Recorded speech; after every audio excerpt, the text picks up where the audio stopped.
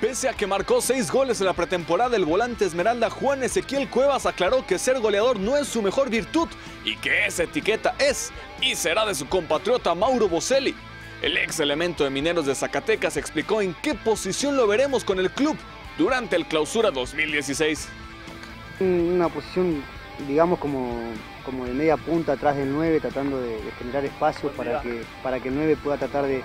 de, como decía recién, de, hacer de, de, jugar más cómodo, de poder hacer los goles él y tratar de, ayudar.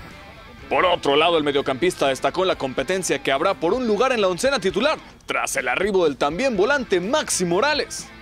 Una competencia interna muy linda, eh, obviamente porque ya Maxi, Maxi Morales, por los jugadores que ya hay, creo que los jugadores que ya hay eh, tienen gran calidad, lo han demostrado a lo largo de, estos torneos, este, han estado en selecciones, muchos de ellos, entonces creo que, va a estar linda la competencia interna, obviamente sana para todos nosotros y, lindo porque eso quiere decir que tenemos un gran plantel, que hay gran calidad para, para tratar de encarar el campeonato.